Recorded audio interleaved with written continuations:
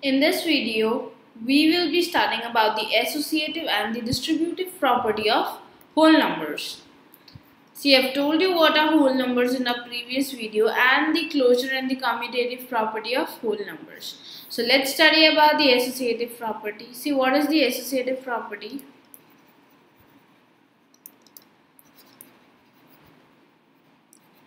This says that a plus b plus c is equal to a plus b plus c brackets and brackets. If you take the brackets on the suitable numbers, any suitable numbers, you take the bracket, first solve a plus b and then add c to it. First solve b and c and then add a to it, you'll get the a, same answer. a, b and c are whole numbers. For example, let's take a is equal to 3, b is equal to 10 and c is equal to 7. Right?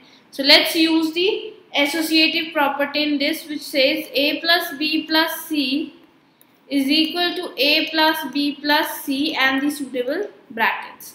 So let's take a we have taken 3, b we have taken 10 and c we have taken 7.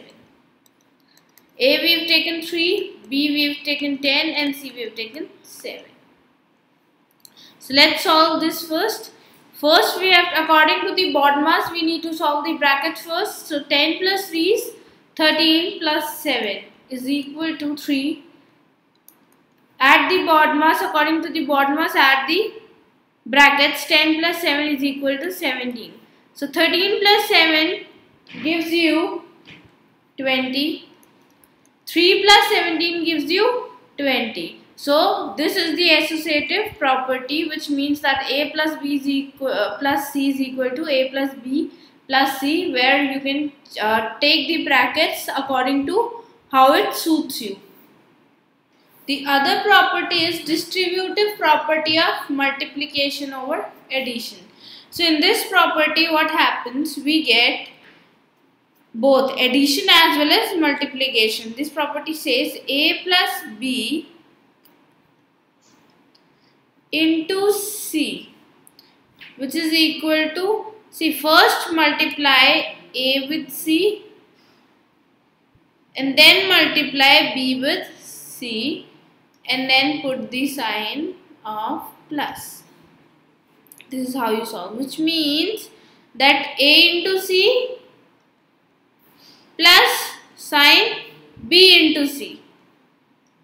c is the common number uh, apart from brackets the multiplication is only with c. c is only in the multiplication.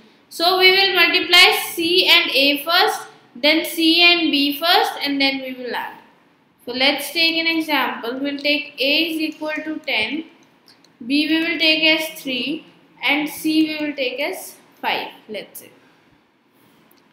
So let's solve according to this property A plus B into C which means that A is 10, B is 3 into C that is 5. So 10 into 5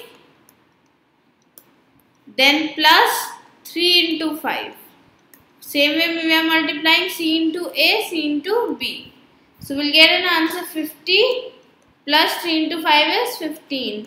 So we'll get an answer as 65. This is your distributive property of multiplication over addition. I hope you have understood these property. In the coming videos, we will be taking numericals on these two properties.